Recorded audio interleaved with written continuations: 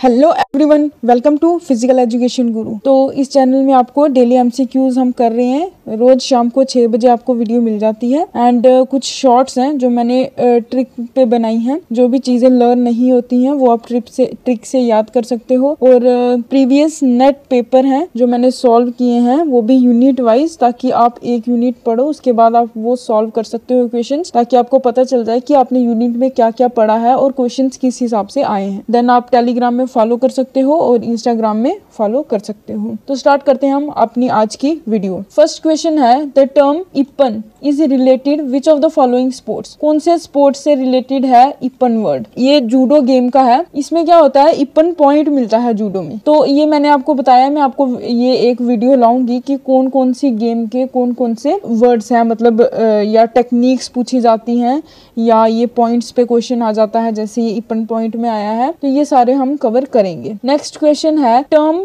team fold is considered as foul team foul जो है, ये फोल होता है कौन सी गेम में? तो ये होता है बास्केटबॉल में। Next question which of the following vitamin is known as folic acid कौन से विटामिन को फॉलिक एसिड बोला जाता है? ये बोला जाता है विटामिन बी नाइन को। बी नाइन को फॉलिक एसिड बोलते हैं। ये याद रख सकते हो फॉलिक मतलब फोल्ड है। अब नाइन देखो, ये कैसे फोल्ड होता है ऊपर से, है ना? फिर ऐसे होता है। तो ये फोल्ड होता है इससे याद रखना फॉलिक एसिड देखो, मैं ट्रिक से आपको याद करवाती रहूँगी ताकि आपको बार बार इसको रिविजन करने की भी ज़रूरत ना पड़े। नेक्स्ट क्वेश्चन है the ratio of the amount of carbon dioxide produced and amount of oxygen use for the oxidation of glucose fatty acid and protein okay ये क्वेश्चन है कि रेशियो बतानी है हमें जो कार्बन डाइऑक्साइड हम छोड़ते हैं एंड जो हम अमाउंट ऑक्सीजन का यूज़ करते हैं इनटेक करते हैं तो वो क्या रेशो है, उसको क्या बोलते हैं? तो उसको बोलते हैं रेस्पायरेटरी क्वेश्चन जो इसका आंसर रेस्पायरेटरी रेशियो भी हो सकता है, अगर क्वेश्चन नहीं दिया होता तो रेस्पायरेटरी रेशियो होता बट जो पर्टिकुलर इसका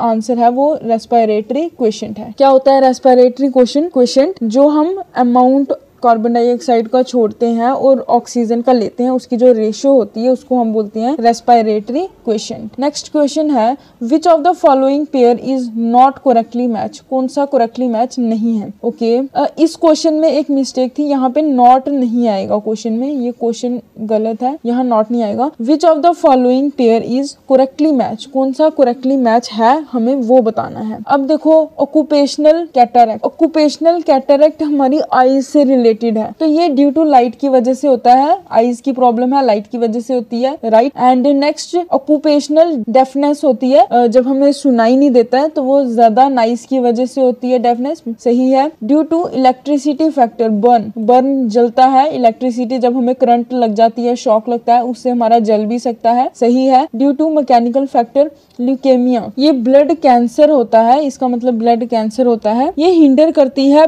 body's ability to fight against infection ठीक है इन्फेक्शन की अगेंस्ट वो फाइट नहीं कर सकता है ब्लड कैंसर हो जाता है, उसको बोलते हैं ल्यूकेमिया तो ये मैकेनिकल फैक्टर नहीं है, ये गलत है.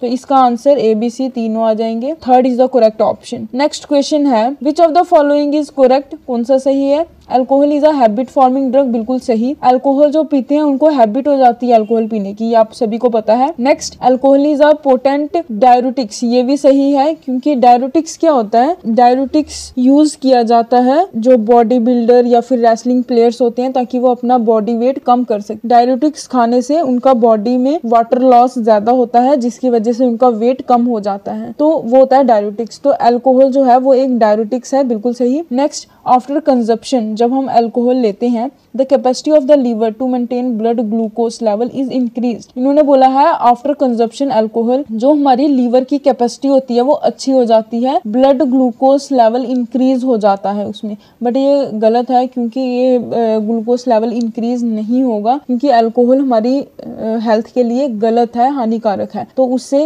ये पॉजिटिव ये तो पॉजिटिव इफ़ेक्ट बताया तो ये तो नहीं होगा। तो आंसर ए बी आएगा। Second option is correct next question dislocation injury